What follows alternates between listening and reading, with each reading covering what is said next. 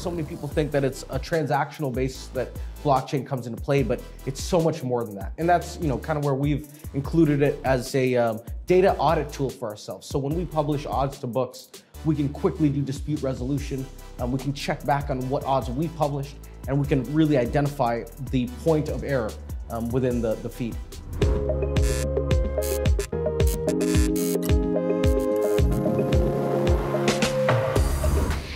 Everybody. This is Becky Liggero, your host for Hashing It Out. I am here today with someone from the gambling industry, so I'm incredibly excited because this is where I come from.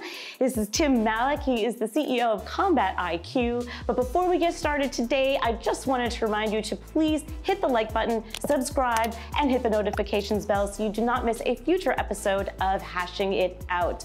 So let's get started. Tim, welcome. It's so good to see you. Thank you, Becky. It's a pleasure to be here. Yes, and I wanted first of all for you to describe to our audience yeah. what is Combat IQ and how is this going to change the face of combat sports sure. and uh, data analytics in this part yeah, of the industry? So uh, Combat IQ is an advanced data analytics company for combat sports, and what we're doing is we're using computer vision, machine learning to extract real-time fight data from broadcast streams and then deliver that to our key verticals. And we think we're gonna we're in a really good position to supercharge growth for combat sports using that technology. I love it. But tell me why you decided to focus on combat sports, and I think MMA is is your first target. Absolutely. Why? So I left pro football, American football in 2019, um, and then the pandemic hit. All sports stopped, and I was hungry for competition. Fortunately, the UFC kept putting on events, um, and I would tune in every week. I'd watch those. And I'm a little bit of a gambler myself, so I would always go look for data um, that would help me make more accurate bets. And when I saw a real lack of that, that's when I approached my current co-founder Chris Zhang to uh, to create that create a solution that we could then apply to the industry. And we found that we're creating a really high value technology. Um, so we entered the, the SB Dojo program here in London, um, and now we're in a really good position to hit the market with our, our B2B product awesome. I love it. And the Satoshi Block Dojo program is has a special place in my heart. So I'm, and we're here today, in fact, at the dojo offices. Yeah. But I wanted to talk to you a little bit more about the technology that sure. you're mentioning. And I know that you've got some competitors in the sports betting yeah. space already that you kind of have a look at, and and you're trying to create something that's new and it's different. Yeah. Tell me, how is your tech different than what we're seeing out there today? Yeah. So typically, when you look at some of the the sports data companies, you know, your Genius Sports of the world, Sport Radar, or Stats Perform. Uh, they all use computer vision, machine learning for different sports. But largely what they use is similar to what Tesla uses, object identification. They'll use computers to figure out where a person is, where the ball is, but what we're doing is so much more granular. We're doing posture detection. We're figuring out where fighters, how they move. I mean, look at their fist from point A to point B so we can calculate the velocity of their punch. I mean, there's so many really cool uh, data points that we can get into and extract and then use that to figure out what's going to happen. Um, so we're in a really great position to, to provide unique and proprietary data to the market. Very nice, very nice. And and we mentioned, of course, the dojo, yeah. which is where we are. And the dojo, I know, is focused on startups that are using a BSV blockchain in some way. Yeah. And something that I actually love about Combat IQ is that you, you haven't even mentioned yet yeah. that blockchain's involved. Yeah. And I think that's actually good yeah. for the gambling world because sometimes the word blockchains can frighten people or Absolutely. it's attached with some stigmas, you know, whatever. Um, so how do you use blockchain? Yeah, well, if I could just add on to what you just said, you know, I think it's really important. Um, one of the great things about the dojo is that they're helping all the companies involved learn how to use blockchain in really unique ways for its utility. Mm-hmm. And typically, you know, so many people think that it's a transactional base that blockchain comes into play, but it's so much more than that. And that's, you know, kind of where we've included it as a um, data audit tool for ourselves. So when we publish odds to books, we can quickly do dispute resolution. Um, we can check back on what odds we published and we can really identify the point of error um, within the, the feed.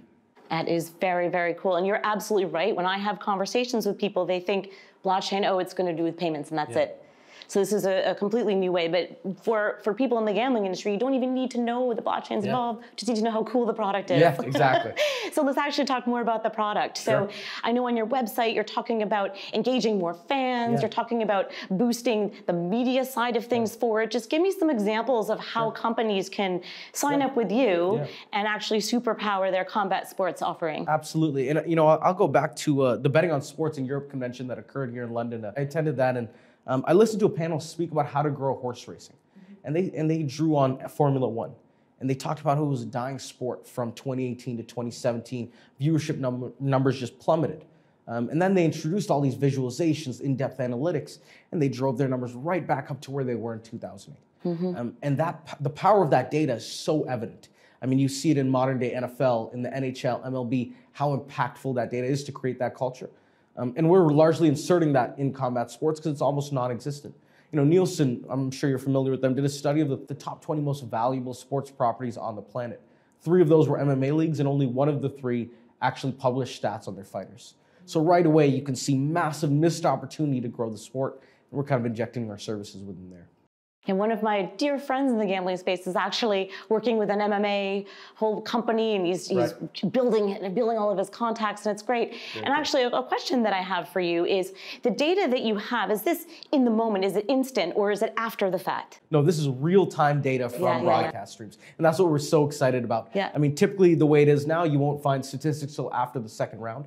But ours, I mean, second to second, we can update the fans so they can experience the fights from their living rooms um, and really be, you know, fully immersed in the events. Amazing. Well, I love your energy. And when you and I have chatted in the past, it, I can feel it yeah, across the Zoom great. call. But I wanted to know a little bit more about you. Yeah. I know that the dojo is quite particular in who they invite into their program, and they really are going for personality and people yeah. with lots of experience. So I know that you have had a lot of global experience. You've lived all sorts of different places. So tell me about where you've lived, the languages yeah. you speak, and yeah. how this is going to uh, impact the business that you're running. Yeah, well, it's not only myself but my co-founder. You know, between the two of us, we live in 12 countries. Amazing. Speak 10 languages, but he speaks seven of them. So. um, but no, I was born in Pakistan. You know, I've lived in Dubai, Greece, Nigeria, Taiwan, uh, Canada, and now the UK. So even even with my co-founder Chris, you know, when we approached this, it was very much approaching a problem that we could globally scale and utilize our past um, through globalization to kind of take that product and, and get it to everybody. Um, and, and that's you know something, something that we think we have a, a competitive advantage in. And we, you know, Chris speaks Hebrew, uh, uh, Vietnamese, English, Mandarin, French, Spanish, uh, Greek. Um, I speak Arabic, English, Urdu, Pashto. Wow. Um, so you know, cover different hemispheres of the planet. Yeah, and the gambling industry truly is a global one. I used to travel the whole world, right. you know, attending conferences and events targeting different markets. So yeah. I think that this is actually a really cool thing. Yeah. I have not met someone that speaks so many languages. I swear to God, that's really, really cool. I like to think so too. Yeah, and you mentioned earlier uh, American football. You've yeah. experienced in that. What uh, background do you have with that? So I was actually working for the Toronto Argonauts in the Canadian Football League, but I was scouting in the Northeast U.S. So I did all the NFL teams and NCAA teams in the Northeast. Um, so I would go to University of Michigan, Ohio State, Penn State, and all the big names you watch Saturdays, and then on Sundays, Giants, Jets, etc. And I, I, really got an inside glimpse at how they use that, those teams use data to create that die-hard culture. And even at training camps, we'd see hundreds of fans shouting stats at their favorite players. You know, we want to see you reach 2,000 yards and this and that. And, and it really it touched me and, and it's, it stood out to me how impactful that data really was. Yep. Yeah. Well, the gambling industry is driven by data. Yep. This is the whole backbone of what of what we're doing. Incredible. And we've talked about the dojo several times already yep. during this chat of ours. But can you just give me a little overview of what the experience has been like here over the past yep. three months and what you've learned from being here? Absolutely. Well, it's been a phenomenal three months. Um, you know, started in May, and we're uh, here at our showcase day. I wish it would go on forever, but we got to get to real life. Um, but it's been phenomenal. From day one, they've been pushing us um, and, and really getting us out of our comfort zone. So we've done everything from they're forcing us to go talk to customers to validate what we're doing, um, putting us in front of mentors for a week straight, which can be kind of exhausting but very beneficial. Um, and at the end of it, we just do pitch prep and, and just constantly give our you know pitches for our company, trying to raise our funds um, so we can hit the ground running and build a, a world class product. And I do have to add, uh, you know, Craig Massey has been phenomenal in adding to that. He uh, he did he worked with us quite closely for our financial modeling. So, you know, really thankful to him for all that. I love it. Yeah, and then they put people like me in front of you, torturing you with the camera. No, not at all.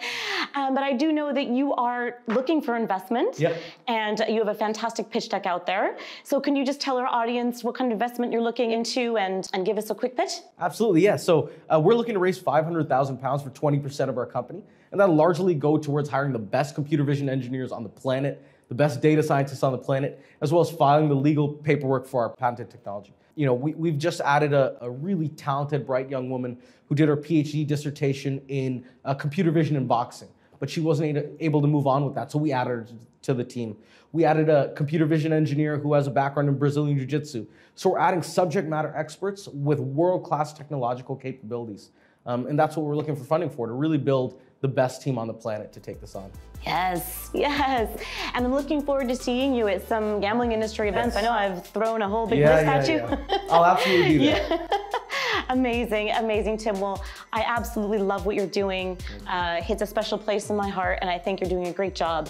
So I want to thank you very much for being here with me today. Thank Wishing you. you amazing luck, and I'll see you at the next event. Thank you, Becky. Amazing. And thank you guys so much for watching this episode of Hashing It Out. I am your host, Becky Liggero. This is CoinGeek.com.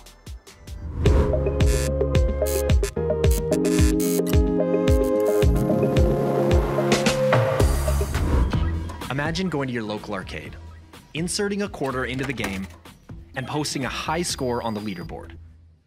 And then, everyone who comes after you and fails to beat your high score, you get a portion of their quarter every time.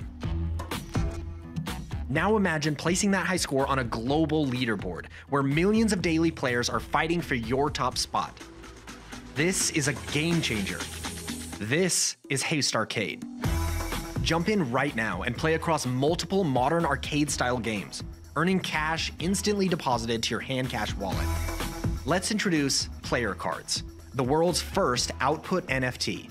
You can mint your own and gather others, from friends to top players. For any player card you hold, you earn a portion of each gameplay output. This is a haste token. Earn them daily just for playing. They can be used to purchase things like prizes, player cards, and more. Trade them on exchanges or simply redeem them for cash. This is the next gen of gaming. Play, earn, grow on Haste Arcade. Bitcoin mining, Bitcoin wallet, blockchain, stablecoins MetaNet, the evolution of money. Everybody is talking about Bitcoin today, but what exactly is it? Learn the basics from experts. Learn what Bitcoin is, how it works, and why it matters. Bitcoin 101, your ultimate guide to the fundamentals of blockchain. Thank you for tuning in to today's episode of Hashing It Out. For more from the show, click here. For more from the CoinGeek channel, click here. And don't forget to subscribe and hit the notifications bell so you do not miss any future shows from the CoinGeek channel.